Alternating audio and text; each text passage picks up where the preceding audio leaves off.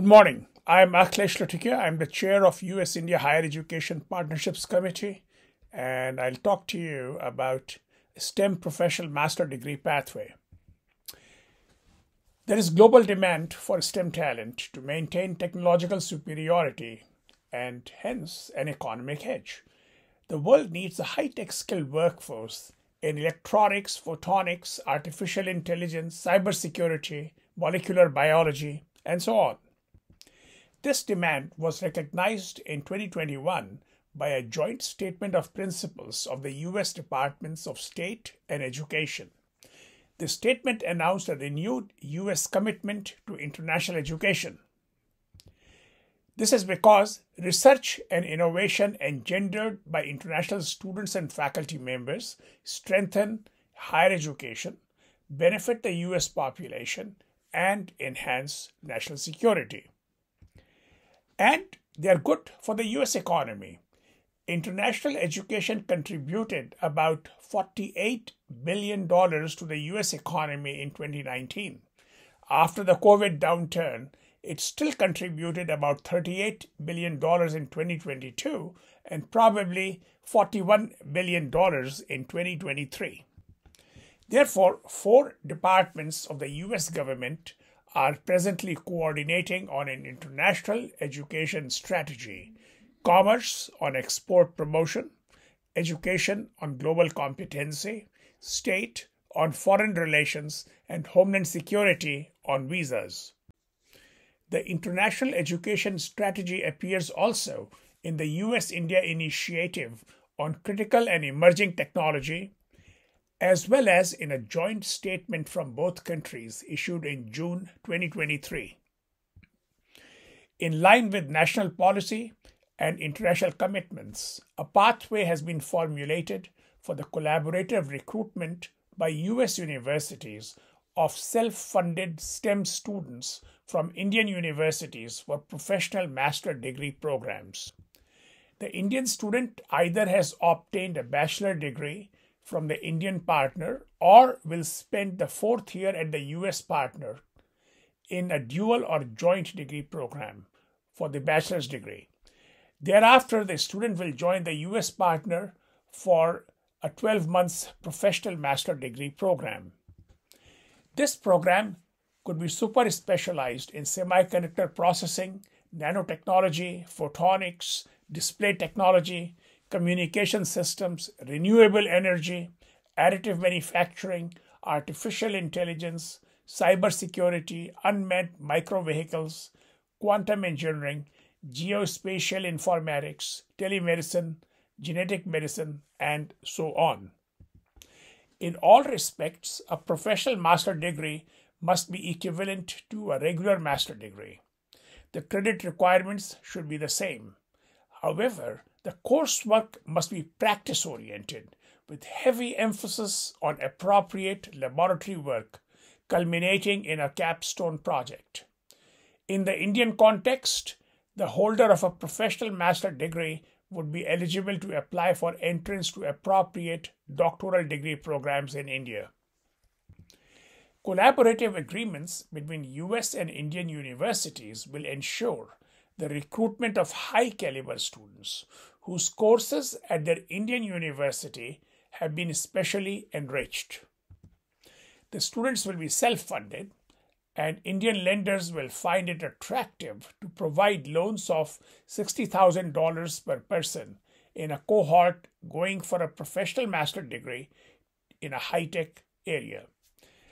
Plus, the families of many Indian students would fund this investment. A recent article in the Financial Express states that Indian students borrow about $50,000 for a master's degree program at a US university. And here is an advertisement from an Indian lender offering amounts of as high as $90,000.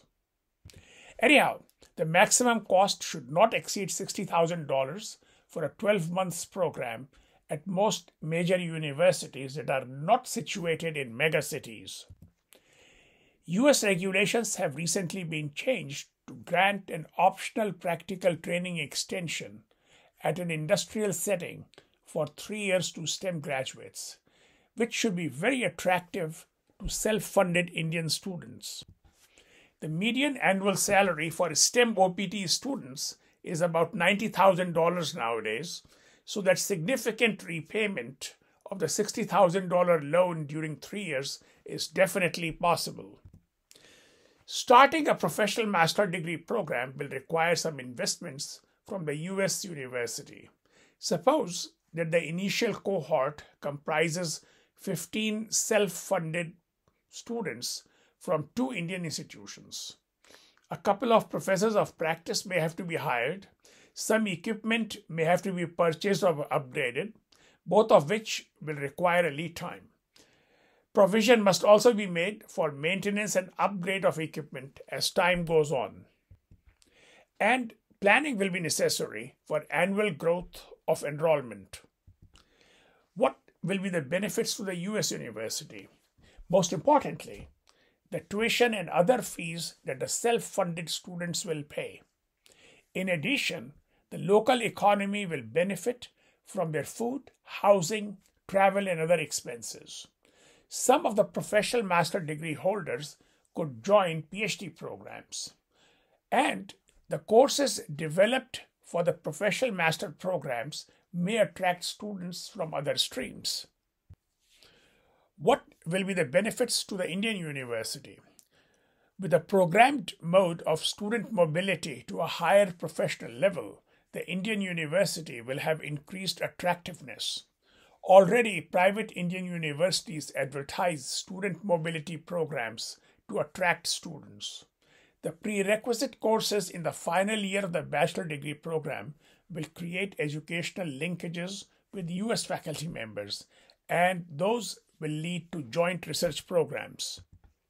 I'm very optimistic about the professional master degrees because Indian students in the United States have a marked preference for master degrees. This is borne out by data. In September 2023, some 316,000 Indians were enrolled at a college or university in United States. Of the 253,000 Indians studying for a master degree, 243,000 were enrolled for a STEM discipline. These numbers include those actually on campus as well as on STEM OPT extension. So, the Professional Master Degree Program is a 12 months on campus program with an industrially attractive focus, costing about $60,000 and making the graduate eligible for a three year STEM OPT extension with a median salary of about $90,000.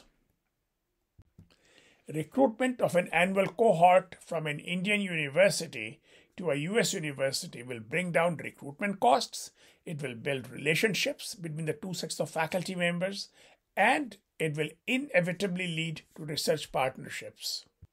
The US government has taken significant actions in support of the international education strategy. It opened a brand new consulate with 54 windows in Hyderabad in 2023. This is the fifth US consulate in India.